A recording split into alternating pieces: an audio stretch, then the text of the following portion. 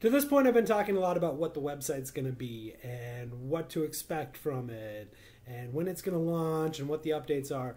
And I realize that at this point, I'm sure there are a lot of people out there wondering uh, the big question what's in it for me? Why would I want to do this? Why would I want to not only become a, a member of the website, but why would I ever want to sign up to be in queue and hopefully to become the conch holder? Um, and I, I wanted to just kind of give a quick sample of something that you could do. And there are millions of things that you could do with this opportunity.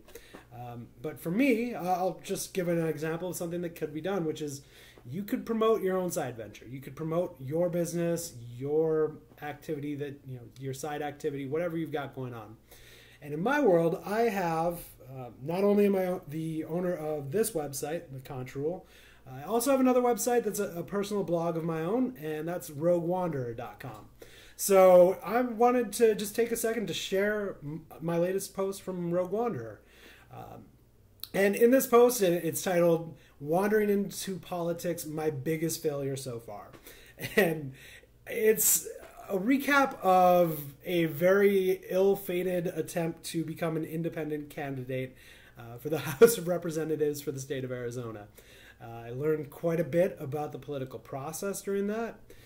Um, but it, it, was definitely by no means uh, what some would consider to be successful.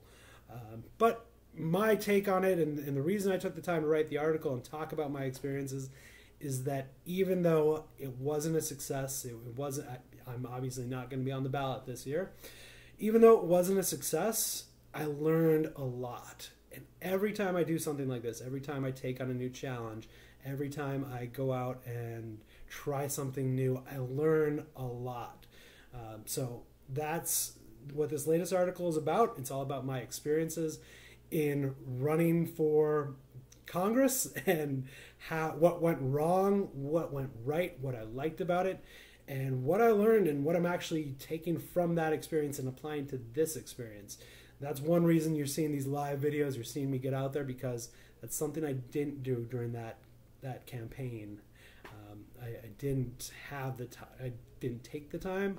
I didn't get out there face to face. That was more of a monetary issue. Uh, had some things come up that caused some issues there, but but I didn't take advantage of the technology, and that's one thing I, I'm learning to love about Facebook Live. So I want to just take a moment to promote my other website, roguewanderer.com. And I encourage everybody to follow the link, check out the article, and read my postings on there. That's that's how you'll get to know a little bit more about me. And that is something that anybody could do with the site with Conch Rule. You could, if you have control, you can promote your business. Uh, there is a, a, holder rule that you can only promote it 50% of the time, so you can't over promote. We do need you to, we all want you to share things about your life and share your opinions and experiences, but I'm not going to limit you having the opportunity to promote if you have this opportunity. So. So thank you very much. Check out my other website. Check out this site. Sign up as a member. Get in queue. That's where that's our next step. We're getting members. Let's get some people signed up to get in queue. Get excited. I think it's going to be awesome. I look forward to seeing what this can be.